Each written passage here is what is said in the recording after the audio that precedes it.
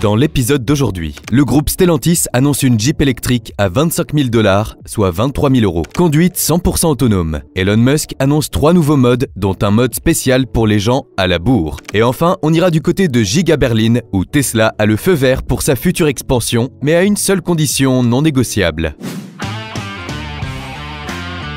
Le groupe Stellantis annonce une Jeep électrique à 23 000 euros. Maintenant que les voitures électriques sont aussi populaires que les voitures à essence, les constructeurs poursuivent désormais un nouvel objectif proposer des modèles à prix abordable. En Chine, les grandes marques comme BYD le font déjà. En Europe et aux États-Unis, par contre, c'est une autre histoire. La marque Jeep a toutefois décidé de s'y mettre. Carlos Tavares, le PDG du groupe Stellantis, a annoncé une Jeep électrique à 25 000 dollars. Les voitures électriques semblent bien parties pour gagner la bataille qui les oppose aux voitures à essence depuis des années. Toutes les marques automobiles s'y mettent, proposant des modèles tout aussi puissants et performants. Le problème réside au niveau du prix. Les voitures électriques ne sont pas données. Il faut compter entre 30 000 à 50 000 euros pour un véhicule neuf. Les prix peuvent rapidement grimper jusqu'à 90 000 euros, voire beaucoup plus pour les supercars et les modèles de luxe. En Europe, le groupe Stellantis va bientôt commercialiser une voiture électrique pas chère, la Citroën EC3. Cette dernière sera lancée le 13 juin prochain, en France au prix de 23 300 euros. Et ce n'est que le début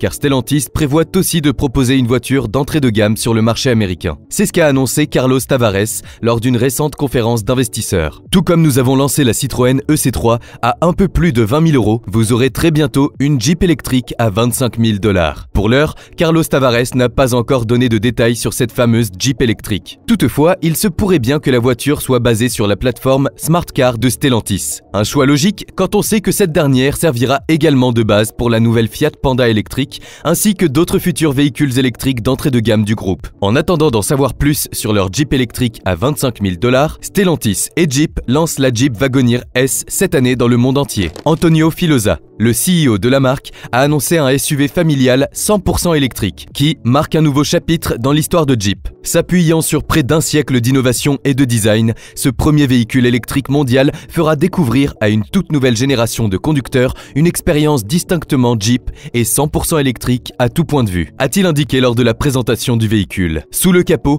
la Jeep Wagoneer S embarque deux moteurs électriques, un sur chaque essieu, qui délivre 600 chevaux pour 800 Nm de couple. Alimentée par une batterie de 100 kWh, la voiture peut parcourir jusqu'à 480 km en une seule charge. La Jeep Wagoneer S sera disponible sur le marché américain dès le dernier trimestre 2024. L'Europe, elle, devra encore patienter jusqu'en 2025 pour s'offrir la voiture dont le prix de base pourrait bien avoisiner non pas 25 000 dollars, mais plutôt dans les 80 000 à 100 000 euros.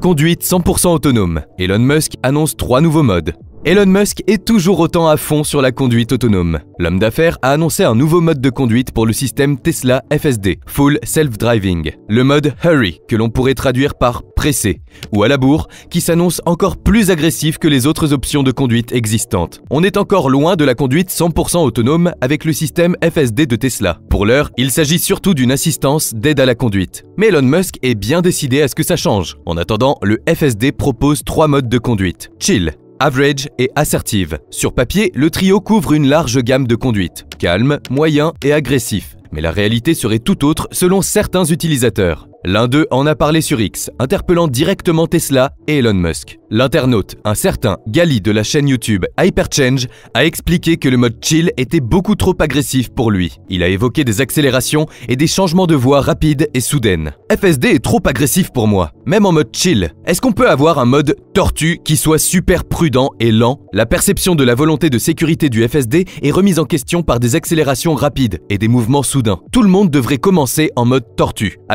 N'est pas le seul à avoir rapporté des comportements incohérents de la part du système FSD de Tesla. De quoi stresser les conducteurs qui utilisent justement le mode chill pour une conduite calme et prévisible. Le dénommé Gali n'a d'ailleurs pas manqué de l'expliquer sur X. La perception de la sécurité par le conducteur est aussi importante que la sécurité. Je suis un conducteur très prudent. Il en va de même pour la majeure partie de la population, surtout en laissant l'intelligence artificielle prendre le dessus. Si cela va jusqu'au bout et que plus de 50% des Américains effectuent des trajets avec le FSD sur le service Tesla Robotaxi, nous avons besoin d'un mode de conduite qui inspire la plus grande confiance et sécurité. Elon Musk est connu pour répondre directement aux questions et réclamations des internautes sur les réseaux sociaux fois-ci n'a pas fait exception à la règle, car l'homme d'affaires a répondu aux préoccupations de Gali. Sauf que sa réponse s'est avérée assez inattendue. En effet, Elon Musk a annoncé trois nouveaux modes de conduite, dont le mode Hurry, à la bourre. Or, le nom de ce dernier sous-entend une option de conduite encore plus rapide et agressive. Si les amateurs de vitesse en sont ravis, ce n'est pas une aussi bonne nouvelle que ça pour le commun des mortels. Rappelons en effet que pour le moment, le Tesla FSD n'est pas infaillible. Le système serait mis en cause dans des accidents,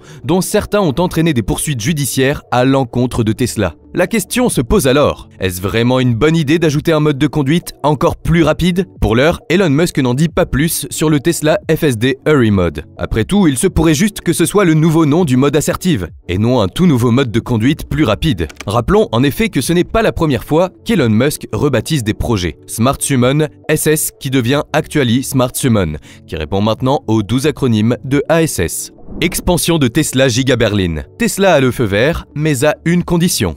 Bonne nouvelle pour Tesla. Après des mois de négociations, la commune de Grünheide a donné le feu vert pour l'expansion de Tesla Giga Berlin. Le constructeur a enfin reçu l'autorisation d'agrandir son usine en Allemagne, mais les responsables ont posé une condition non négociable. Il y a quelques jours, les responsables de la commune de Grünheide ont validé les plans d'expansion de Tesla pour son usine Giga Berlin. Le projet a reçu 11 votes sur 19. Le contrat s'accompagne cependant de nouvelles conditions concernant le volume d'arbres que le constructeur automobile peut couper. À l'origine, ce dernier avait prévu de défricher 100 hectares de forêt pour l'extension de Tesla Giga Berlin. Toutefois, après enquête auprès des citoyens, le conseil municipal a décidé de couper la poire en deux. Tesla n'aura donc finalement droit qu'à 50 hectares de forêt. Pour rappel, il s'agit d'une forêt de pins en monoculture plantée par l'homme. Avec l'expansion de Giga Berlin, Tesla a aussi prévu de construire sa propre gare ferroviaire et un dépôt de marchandises. L'entreprise s'engage également à recycler 100% de toutes les eaux usées du site d'agrandissement de son usine.